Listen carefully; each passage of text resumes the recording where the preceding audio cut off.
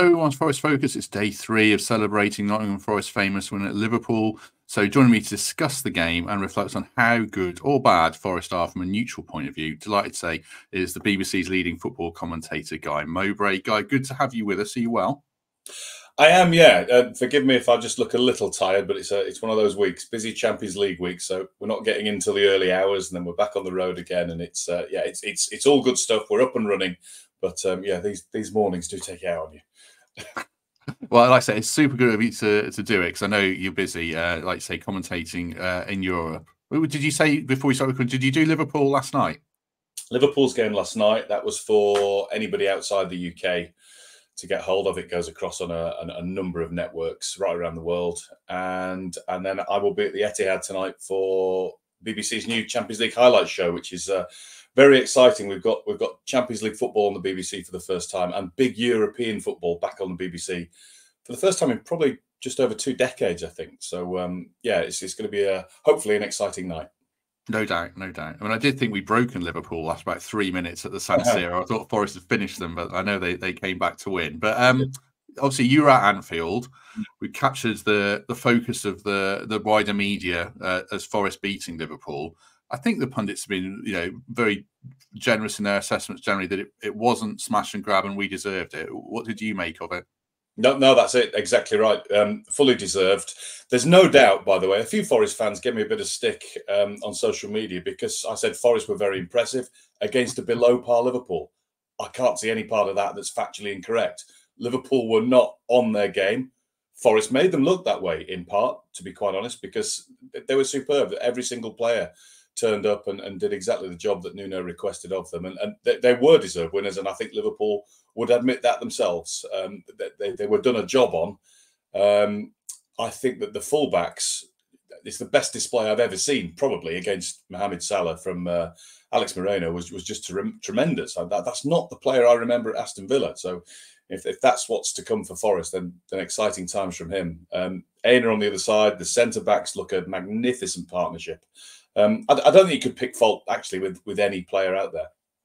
Yeah, I mean, I'll come back to some individuals because I want, want, to pick on that up on that certainly. I suppose I think you're right because if Liverpool turn up and perform to their maximum, they're gonna they're gonna win the game really. But is there also an element that we, by doing a job on them, made them play badly to some degree, particularly like players like Salah, like you mentioned. You can yeah, made, made, made them hurry, made, made make them make bad decisions or, or, or decisions that they normally wouldn't make. And, and it's because they were getting frustrated because they weren't allowed to play their normal game. Because I think Nuno got his game plan absolutely spot on. And um, it's certainly the best I've seen Forest play under him. Um, I've seen I've seen some very good games, by the way. You know, you know, at the City Ground. I remember the game against Liverpool actually towards the back end of last season um, when when Nunez scored in the 165th minute. Um, yeah, I, yeah, I, yeah, I remember that game, and, and again, Forest were probably, arguably, the better team throughout large parts of that as well. So there have been good performances, but I think this was this was the best I've seen. Is that in part when you talk about Nuno? Because probably with all due respect, we've got better players this season, like Milenkovic and, and Moreno. It must make his job a bit, a bit easier, certainly. Yeah, the, the squad looks better. The squad looks trimmer as well. Um, it's not as bloated as it was. Um, they, have got rid of some of the players who weren't going to play that much of a part. Um, I, I, just think it looks generally a better quality, leaner, and, and better for it. Um, yeah, there's there's there's no doubt about that. So so yeah, it, but but credit to him as well because he knows what he's trying to do with the squad now. I think he's taken a little bit of time to settle in. Of course he would. I mean, you take over barely halfway through a season and, and you've, you've got a bit of remedial work to do first. And I would think that's what last season was was mainly about. But but this season he can he can it's the old cliche, but he can put his stamp on it and, and make them play as he wants to see them play. Did we um, did we get Liverpool at a good time in the sense they'd not gone behind in a game? There were a few things that they hadn't been tested on, and um, Slot. Um, he's not in the matrix. He started ever so well, but Nuno probably did a job on him, I guess.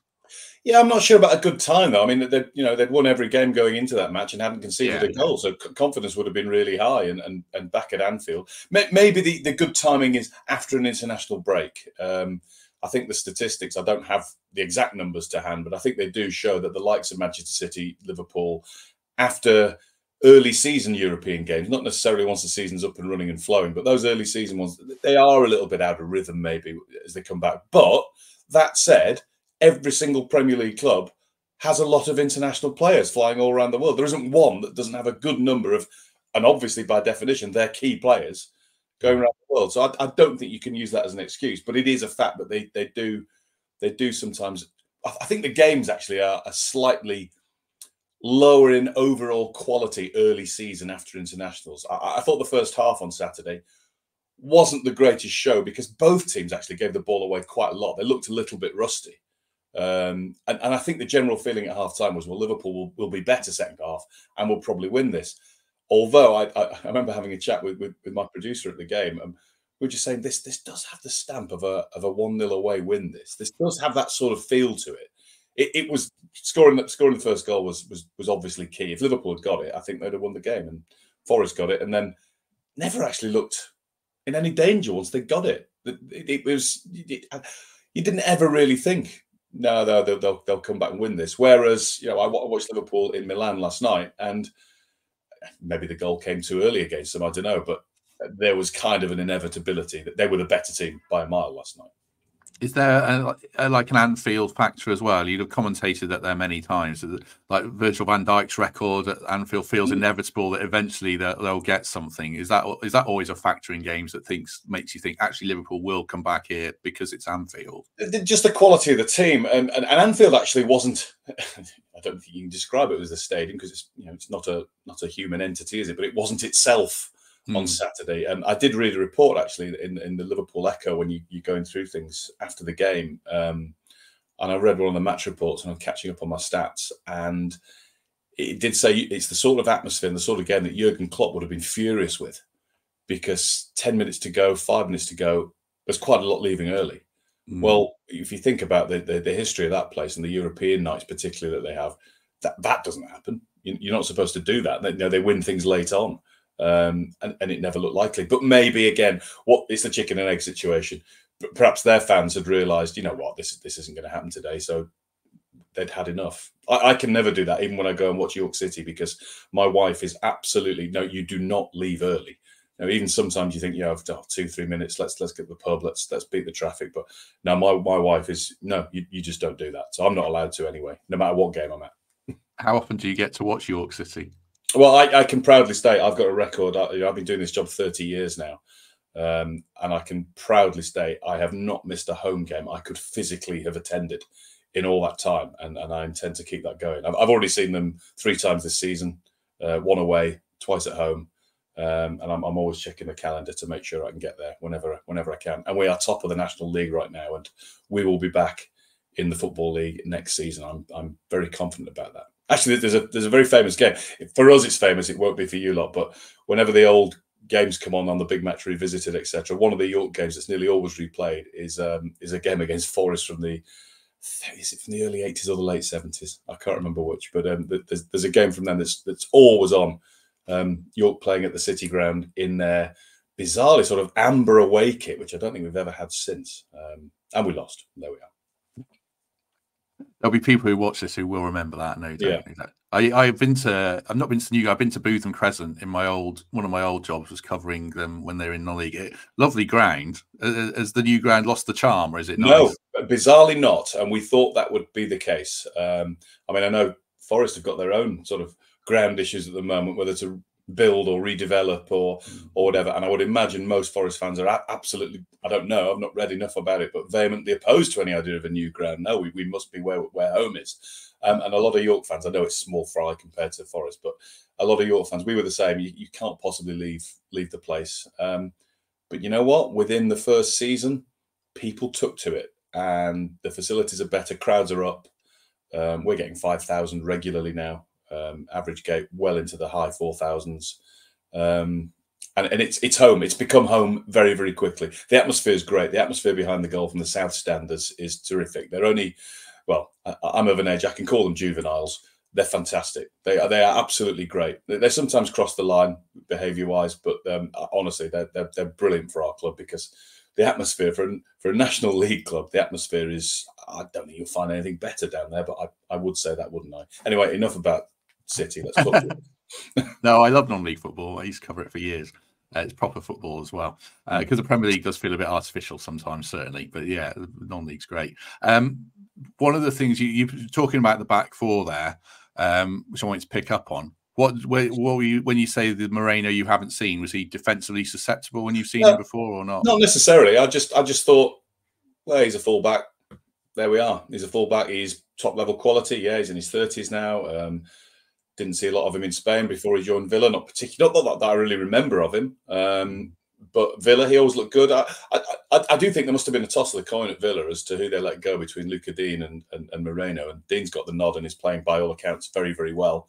Um, so one of them had to go for presumably squad and budget reasons. Moreno out he goes for the year, and I, I, yeah, he's, he's, a, he's a he's a quality player. There's no doubt about it. He wouldn't be playing at the top level if he wasn't. But I never saw a standout fullback that could absolutely mark Salah out of the game and make him so frustrated he was, you know, taking pot shots and giving the ball away. Um, no, he was he was he was truly outstanding, and he probably just shaded my man of the match honours from Aina on the other side and Milenkovic and Murillo in the middle, and and Ward Prowse as well is another one who deserves. I, I still can't work that out. That that's one that's that I can't get. Um, I was at a West Ham game last season at home to Burnley, where they weren't very good, and he particularly wasn't very good, and, and Kalvin Phillips was there as well, and they both got taken off half time, and, and they, they, didn't have good games at all. I remember Gareth Southgate was there watching actually, and I did wonder if that was curtains for the pair of them as regards the Euros, and, and it probably was. But still, you know about James Ward-Prowse's qualities, and I, I, again, it's probably it's probably FFP and balancing books and making sure that you can only have so many on and a certain wage bill and what have you. So that's probably one of the reasons why West Ham had to had to let him go. But it, it's quite telling that I don't think there's any option to buy or anything like that. So um, he's, he's only at Forest for the season as things stand. But what a what a signing for a season! I mean, he's one of the best midfielders in the country. He, he has been for quite a while. Is that a sign of Forest's kind of progress towards establishing themselves then in this league? Maybe um, I'm more I'm old school and and and you know been around long enough to remember times past, and I just think if Nottingham Forest come calling, I mean, if you've got any knowledge of any history of football, well, hang on a minute, double European champions, yeah, I think I'll I'll have a bit of that. So it's it's if you're not if you're not going to get a game or you're not going to be a regular at West Ham, where else would you want to go? Hmm. Um, and the other one, Milenkovic, I really wanted to pick up, and Murillo I actually ask you about Murillo, but Milenkovic, when you watched us last season and the previous two seasons, did you feel like we were a bit of a soft touch defensively, particularly from set pieces? We developed that reputation, yeah. certainly. I never, I never felt it was particularly settled. I don't think um, Steve Cooper at the start of last season or Nuno when he, I, don't think they ever quite knew who the, the first choice pairing was at the back. I mean, Murillo played pretty much every game last year. He settled in straight away. But who'd you put alongside him? Was it Niakhaté? Was it, you know, was it Felipe when he was fit? It, it never seemed to be quite settled. And and here we go. There is now a partnership there. Um, and having watched um, Strahinja Pavlovic for Milan against Liverpool last night, and then you look at his compatriot Milenkovic, well, on that showing, there's no comparison. Forest got the better the better partner there, without a doubt. And what do you make of Murillo? He's so highly touted. Obviously, he's got the kind of the samba flair going going forwards. But do you see the makings of a of an elite defender there yet, or is he? Yeah, yeah, he's he's he's there. He's, he's, he's Premier League top level quality. There's there's no doubt about it, and, and that was obvious last season actually. Um, uh, yeah, he's he's kind of a little bit uh, old school in terms of. I think it's just his stature makes him look that way. Um, he can play, obviously he can, but he, he's a bit old school as well. And actually, talking of giants, I got my first look uh, outside the away dressing room when I was about to do interviews uh, on Saturday at, at Carlos Miguel. Goodness me. I, I mean, I don't know how agile he is, but blimey, he'll take some beating. He is huge yeah, no, he's he's only played the one game and he looked he did look really well, really good. So it'll be interesting to see how he pushes um, Matt Matz Sels. Certainly, just before I throw some more questions at Guy, just a quick word for our sponsors, the Trent Navigation. Obviously, next home game is Fulham. Uh, Steve McGill is doing his 80s and 90s mixtape. He plays at the Nav a lot, so you'll probably be familiar with him. But get down and support that. And this is coming out on a Wednesday. Uh, here's an unprepared question that I'll I'll throw at Guy, but it's pizza tonight, eight pound fifty tonight. Uh, I've sampled them myself, and they are top notch. So uh, do get down the nav. If you're looking for a cheap dinner tonight, Guy, I ask loads of guests their favorite pizza. You're probably like the 20th person. We've had a variety of answers. I'll put you on the spot. What's your favorite pizza? Right. Well, I'm going to get hate mail now, without a doubt, because it, it's ham and pineapple. Sorry.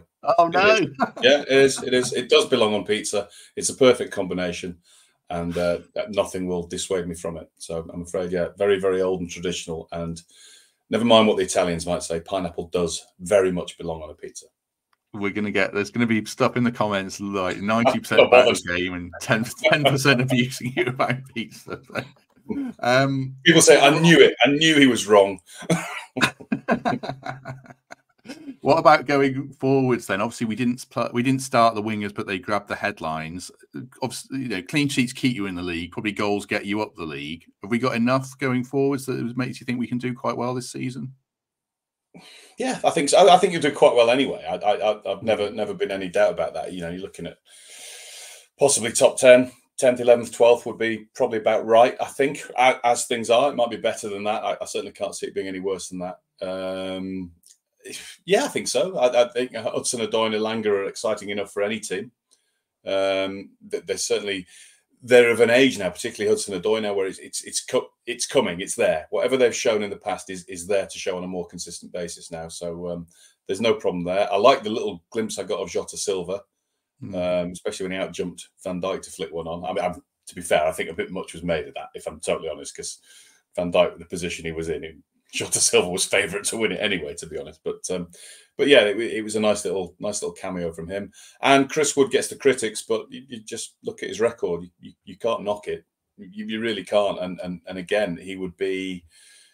I don't think you'd look out of place in any Premier League squad, maybe not starting, but as somebody to bring on. Um, and in Forest's case to start. Um, and Awoniyi waiting in the wings for his chance because, as, as, we know, on his day he can be anything. So I think I think I think there's enough there. I mean, pr- the proof will be at the end of the season, but I, I would think there would be. Yeah. Um, I'll come back to that. That's interesting. What about Gibbs White? Because obviously he's such a talent. We love him. He got into the England squad I kind of wonder if he'll be able to keep his place in there when everyone's fit and available with Bellingham and Foden. Do you think he's still got a challenge to to take that step to be a regular in the squad? Uh, of course, because the two players you've mentioned, yeah, that, that's that's kind of the next level up, if you like, in, in very very small degrees of level, as, as we know, professional sport works like that. It's very very fine margins to take you right up to the next level. Um, but he's not far behind. And certainly, whilst Lee Carsley's in charge, there, there is every chance of him staying in the squad because he's he's one of his England boys, isn't he? So um, I, I, I, can I can very much see him sticking around. And what when you say tenth to to twelfth, that's interesting because a lot of pundits uh, have us down for seventeenth and probably lower at the start of the season. Quite a few people said, "What is it that you see that makes you you think we've got a, a, that next level of quality that we probably didn't have the last two years?" It's it's as I said earlier, it's the, it's the it's the the the leanness and the quality of the of the squad and the fact that I think I think Nuno knows now what he wants and what he's got. Um, and, and his record in the Premier League as well, you know, with, with, Wolves before. He, he, he knows what it takes. Um, I don't think it's going to be scintillating football all the time, but because of what I've mentioned already with Hudson Odoi and Elanga and the exciting players, it, it's not going to be bad, is it? It's it's going to be okay to watch. Goodness me, especially at home, there'll be there'll be some wonderful performances in there. So um, no, I, I, am just thinking there's got to be. And I'm, obviously I've only seen one game live, but there are eight worst teams in Forest in the Premier League. I mean, I, I don't think you'd be hard pushed to argue against that. I would think. Um, I mean, I'm not going to name them because I'll, I'll name somebody, somebody. So um, I'm, not going to name anybody, but I, I would argue I, am pretty sure there'll be eight worst teams in Forest in the Premier League this season. Yeah, you uh, at the start of the season, uh, we all said on here, um, we all said 14th to 15th, um, but I think we're all kind of maybe re-evaluating. It's difficult to know so early in the season because you look at Palace and West Ham and Bournemouth. Certainly, Palace and Bournemouth, I think, have probably played better than their results, and maybe Wolves as well. So yeah, it's I, interesting. I put, I put Palace right now slightly below Forest, slightly below. Um, losing Olise was a, was a big deal. Um, Eze is obviously a, a, tremendous talent, and I really rate their manager. I think what, what a job he did last season, Oliver Glasner. So um, they'll be up there. They started a little slowly, but they'll, they'll be around probably around Forest. I think probably that's that's almost the direct rival. I would say. Bournemouth, no, I think Forest are better than them. I am naming teams now, so I'm going to stop before I get into trouble. But um, I, I, you know, Brentford again. Brent, Brentford, I have a funny relationship with because I watch them on the TV and I, I see their results and I look at their players and I, I, keep stats on all the Premier League teams and look at all the numbers, and they're brilliant. They're phenomenal. Every time I go to a Brentford game, they're awful. so um, the worry is, I think I've got them in October at home to Ipswich, and I'd worry Brentford fans if I turn up because they're, they're just awful every time I've seen them live. But when I watch them on the TV, they're terrific. Oh, Forest fans will want you to commentate on Brentford every week then, because we, we don't like them. I don't know. I think it's because Thomas Frank uh, kept. I did Forest Brentford actually last season. I did that game last season, so uh, yeah, I, I, got the feeling there was a little bit in there. Yeah, I don't know what he goes back to. Thomas Frank's. Uh, I think Forest fans dislike him um, because he, he, fell out with Cooper, and I don't think Cooper's right. staff and uh, Frank's staff get on particularly well. But so I think it's slightly historical. But well, the, the uh, first ever game I, I covered, age twenty one for Club Call was York City nil, Brentford two. Oh, um. And we're in the same division, League One, as it now is. Um, so yeah, I think I have a historical kind of. Uh, I don't dislike them, but perhaps a, there's a little bit in there in my head against. We should be there. York should be where Brentford are. That's upsetting. Um, what do you think about Wrexham? Just out of curiosity, they're sort of a similar sized club to York. You just think, what is no, that? They, are I'll, I'll, be honest. I think they're a bit bigger than us in their catchment area, and they're they're, they're sort yeah. of yeah, their crowds. I think yeah, I think they could lay claim to be a little bit bigger. I, I, I don't mind the Wrexham story. I think it's a bit of fun. Um, they had a look, you know. I, am reliably informed that, that, Ryan Reynolds and Rob McElhenney had a look at York and had a look at Hartlepool as well as, as part of their project. I think I think again I might be wrong. I think the reasoning why I think, I think they thought York was too nice a place and wouldn't have the sort of atmosphere. Well, they haven't heard our South Stand in full effect, so. Uh, anyway, we're, we're very happy with our lot right now. So good luck to yeah. Yeah, uh, lovely York and the Shambles doesn't play quite as well in a Netflix documentary about. No, maybe not. And we beat Arsenal in the FA Cup before they did. So exactly, exactly. Uh, just lastly on on Forest um, and Nuno, do you sort of see when he was at Wolves, he had a squad that was quite tight knit, a way of playing, a, a core of key players. Do you kind of think we might be moving that way now? He's had time in a pre-season, kind of a replica you could see it. You could see it on Saturday, and actually, um, both Anthony Elanga, who I saw, I was standing there watching him doing interview for um, for the overseas networks. Um, he said it, and then unprompted, he didn't hear it. Callum Hudson-Odoi came out, and I talked to him, and he said it as well. And both of them were keen to make the point, unprompted. We, we didn't mind being left out today. We, we trust the process. We trust the manager, and we're together as a team. And they both said it, and they're clearly on message. And and and you got the feeling this wasn't scripted. This wasn't sort of a, a press officer led thing. This was just how they felt about it. So um, yeah, I, I, think he's there. I think he's got it now. I think he's got got the group that he wants. Do you, because you're in the tunnels after games, so you can probably sense if there's a good vibe in a squad or not. A lot, a lot of people said there is at Forest. Obviously, when you've won at Anfield, everyone's going to be upbeat, but it yeah. feels like a happy bunch.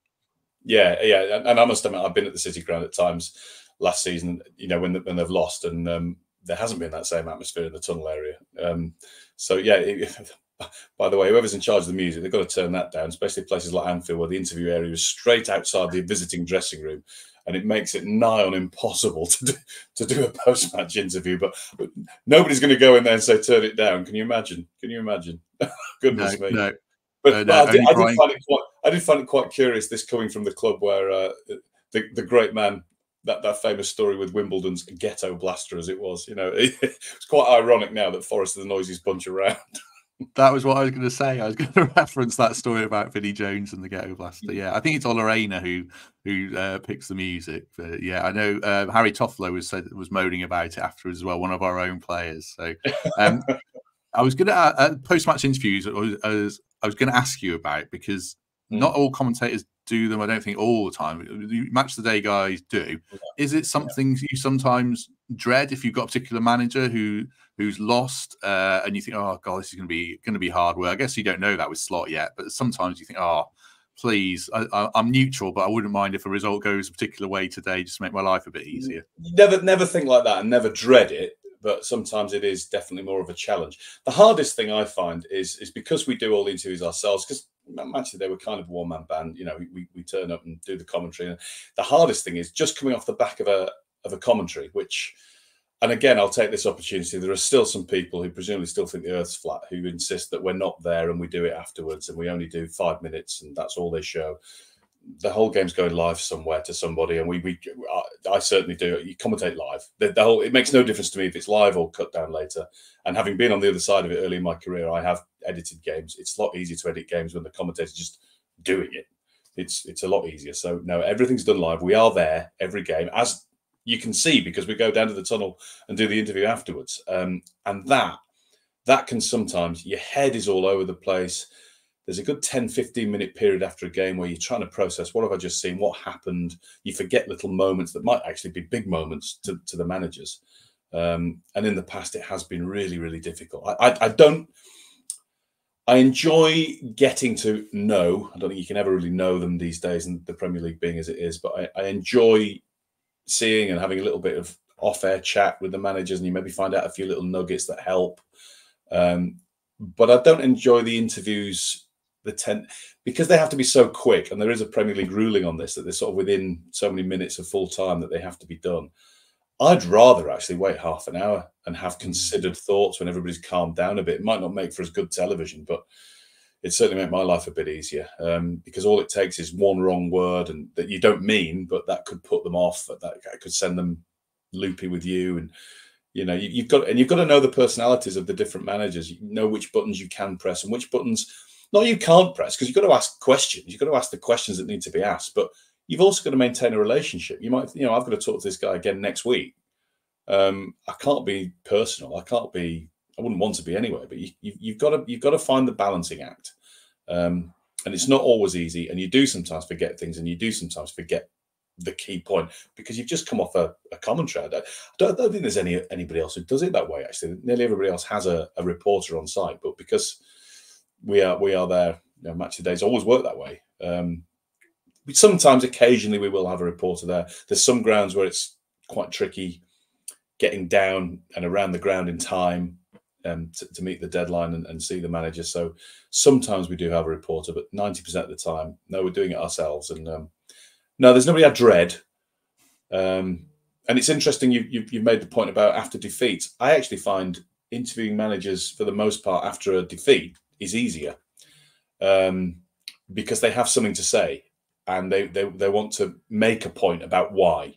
Sometimes after a win, it's almost like, well, you can't ask me anything because we won, so I, I, can't be questioned today, um, and, and and that makes it a little more tricky. After yeah. defeats is. I, I, mean, I'm the one that went and interviewed Sir Alex Ferguson after Manchester City won 6 1 at Old Trafford. Oh, I must admit, walking down the touchline that day, I was a little bit, oh, heck, oh, my goodness me. And actually it was fine, no problem whatsoever. He said what he wanted to say. My questions actually were irrelevant. Mm. Jose Mourinho was always great like that. That the questions would be completely irrelevant. He would have it in his head. I mean, very media savvy. He would have it in his head what he wanted to say, full stop, and irrelevant to the question, he would get it out there. Yeah, there's a few managers like that. Cooper was like that for us in the sense that he, yeah. master of PR and and and stuff like that. And you can always catch a manager on a bad day. I was thinking when you're talking about the famous Roy Hodgson one where he said, "Let's not take the piss" or something. he seems like a lovely guy. Roy is, Roy is great. Yeah, Roy, Roy's always been great. Yeah, I've not, I've not, I've not been on that side of Roy, but yeah, yeah, it's a pressure environment, and, and when it's not gone their way and they feel a bit aggrieved, you might be the one in the firing line that gets it. Um, I've had a few in my time, um, uh, you know, of, of, all varying characters as well people mild mannered, you might think, oh, they'll be really nice with you. Mm, not necessarily. Not if you, not if you accidentally press the wrong button. Um, yeah, it's it's it's it's part of the job. It's not a part of the job I signed up for. I I I I love the commentary. That's kind of it. But it, it is part of the job. So um, you do it, and hopefully you do it to a to an acceptable level of questioning. Nuno must be all right. Must he? Uh, he he, he doesn't give a lot away, but at least you know no. you're on a level playing field with him, aren't you? I think. Yeah, I, I, yeah, he's absolutely fine. Very lovely guy. Very, you know, incredibly well mannered and respectful. Um, you know, he understands the job we're doing, and I think he gets that we're not trying to catch him out. He can be a little bit short after defeats. Actually, I know I've said sometimes it's easier after a defeat, but sometimes I get the feeling, I get the feeling he doesn't enjoy it. But I can tell him, neither do I. It's just part of it. You know, I, I get the feeling he doesn't. He'd rather not, but there must be a load like that. Uh, just a quick commentary question, if you don't mind as well. I've asked because a lot of commentators come on here and they're they're regulars. Do you go into games with lines that you think, oh, I really want to get this in, or does that never work? Is that a, a pitfall? No, it doesn't work. It doesn't work. Maybe in the past years ago, I might have thought, well, if this happens today, I might say this. It doesn't work. We're not actors. You wouldn't deliver it right. Um, you don't know how it's going to pan out. You might have in your head an idea to make sure you don't miss the key story. If at full time there's a certain result, make sure I mention this, and you'll have a little note on your notes. Don't forget if they win, it's this, or if they lose, it means this. Um, just a little prompting note. But you never know how that's going to happen, how it's going to come about, how the goals might have been scored, when they might have been scored, how the story is unfolded. So you can't, you just can't. It's it's not possible. Um, the intro maybe, yeah, that's semi-scripted. You'll, you know, before a ball's kicked, you'll have an idea of what to say pre-match. Um, but that's it. Once the game starts, that takes care of itself. You are commentating live on on what happens. I, I don't know. I don't know how others work. Everybody does it differently, but I don't pre-prepare any line whatsoever now. Yeah, everyone who's come on, um, well, I say everyone. I've asked Fletch, uh, Colin Fray uh, from Radio Nottingham, and I've asked Seb Hutchinson, and I think I might have asked Adam Summerton it as well, and they've all said the same answer for the same reason. It just it's inauthentic. So it's yeah, interesting to it just it, it, just it just wouldn't work. Um, you tend to find you, you, your brain works quite quickly during the course of the game. Um, anything you think about around the game, you, would quickly dismiss in game as no, that's just rubbish. But um, yeah, they, they, they, just that that said, you go you go into a game and you're flying by the seat of your pants because one day it just might not you might not be quick enough. you, you, just might not come up with a line, and, and it, you do drive home. Actually, I, I have a rule of thumb, and it, it does work every time. Where the one time in ten I'll be driving home feeling, yeah, that went well. That was really good. Yeah, I'm very happy with that. I'll watch match of the day when I get home and think, oh, that was god awful. What was I thinking? I missed this. I missed that. That was terrible the, the nine times out of ten, I usually drive home thinking, "Oh, I should have done this. I should have said that." Then I'll watch it, and it'll be, you know, it was all right. That nothing wrong with it. So yeah, that that works. That rule works. Uh, Mrs. Mo- I think it was Mrs. Mowbray made a, a brief guest appearance oh, right, there.